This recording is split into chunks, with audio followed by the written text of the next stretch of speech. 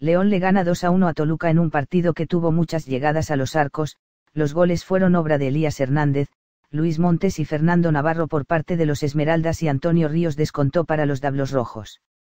La Fiera presumió ante su afición su nuevo uniforme alternativo, que luce por tener líneas verdes y blancas en horizontal.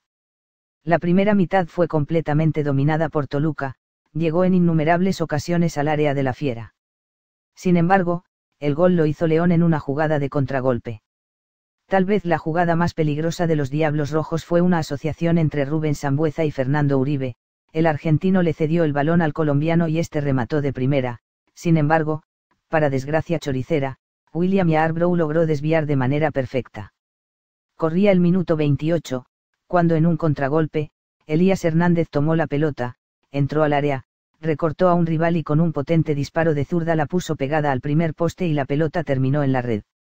De esta forma, los panzas verdes se pusieron adelante en el marcador a pesar de no tener el control del juego. Después del gol, los dirigidos por Hernán Cristante siguieron llegando por todos lados, el que más insistió fue Sambueza quien apareció por todos lados. Al final no fue suficiente y el árbitro Erique Air Miranda, pitó el fin de la primera parte. Para la segunda mitad, Toluca salió igual que en el primer tiempo, con el cuchillo entre los dientes, a matar o morir y tendría recompensa casi inmediata, pues al minuto 53, después de un tiro de esquina y de varios rebotes, el arquero William Yarbrough se equivocó y Antonio Ríos aprovechó para empatar a uno el marcador.